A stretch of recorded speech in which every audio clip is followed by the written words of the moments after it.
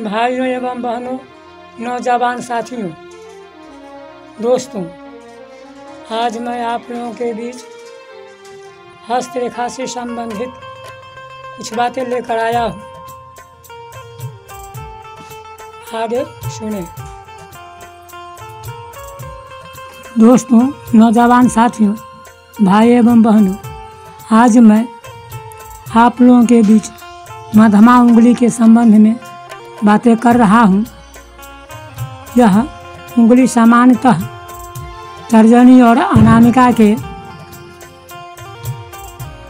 से कुछ बड़ा, अर्थात वन बटा फोर इंच से बड़ा नहीं होता। वन बटा फोर से बड़ा होने पर पूरा जीवन दुख और परेशानी में ही गुजरता है। यदि वन बटा फोर इंच से बड़ा हो तो ऐसे व्यक्ति बुद्धिमान शुभ कार्य करने वाला होता है तथा उन्नति और अग्रसर होने वाला होता है। समाज में सम्मान तथा जस प्राप्त होता है। मधमा, उंगली, तर्जनी से के तर्जनी से आधा इंच से अधिक बड़ा है तो व्यक्ति हत्यारा होता है। मध्यमा लंबी हो तो व्यक्ति रोगी और कामी होता है। लंबी से अधिक साथ साथ उंगली गठीली हो तो या गांठदार हो तो स्वार्थी तथा चिंता, चिंताओं से ग्रसित होता है। ऊपरी सिरा वर्गाकार हो तो व्यक्ति गंभीर स्वभाव का होता है। उत्तरदायित्व पदों पर सफल होता है। ऊपर से चिपटा हो तो कलाकार क्षेत्र में विशेष सफलता प्राप्त करता है। सामान्य ख्याति प्रशंसा प्राप्त करता है। यदि पहला पोर लंबा हो तो आत्महत्या करता है। दूसरा पोर अपेक्षाकृत लंबा हो तो व्यापारी के क्षेत्र में विशेषकर मशीनरी संबंधी कार्यों में विशेष लाभ उठाता है। तीसरा,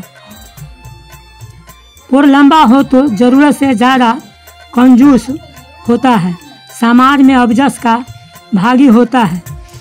ऊपरी सिरा, तर्जनी की ओर झुका हो। ये की ओर झुका हो। तो ऐसे व्यक्ति ज़रूर से ज़्यादा,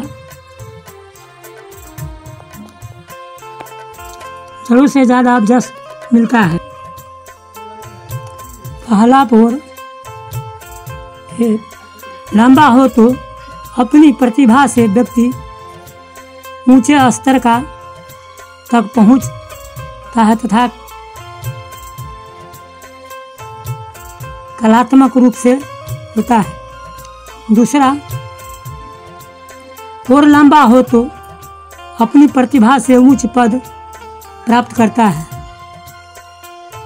तीसरा, और लंबा हो तो तथा चौड़ा हो तो अपने जीवन में राष्ट्रीय व्यापी सम्मान अर्जित करता है।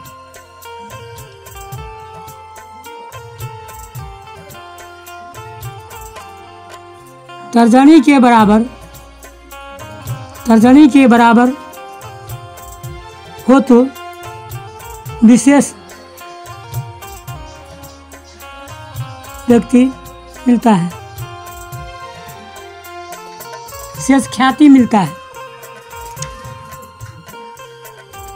मध्यमा के बराबर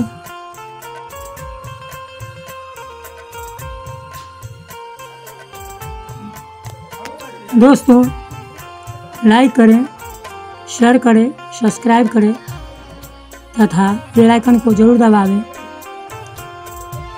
मैं संत श्री कृष्ण भगत परसौनी, जिला सीतामढ़ी, बिहार, जय हिंद, जय भारत, जय मिथिला बहुत बहुत साधुवाद।